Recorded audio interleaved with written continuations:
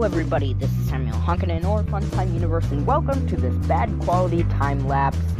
And in a little bit it won't be a time lapse because PicPac is glitchy and I had to start taking the pictures myself every time I placed a few bricks, which is kind of weird.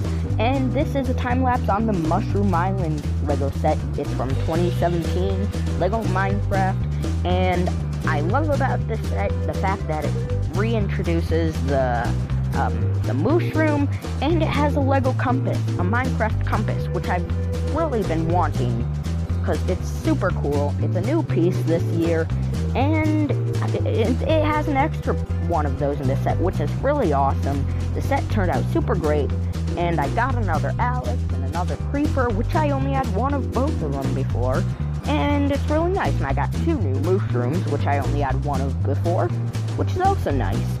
And this set, it's awesome. And as you saw, the lighting isn't as good because one of my lamps went out. Um, so I gave it a break and I turned it on at the end and it turned out pretty good. See? It's back on now and it's better. The lighting is better now.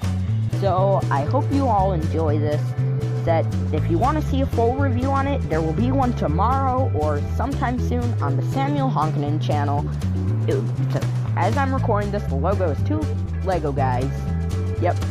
So when it goes up, go see it. The link will not be in the description, sadly.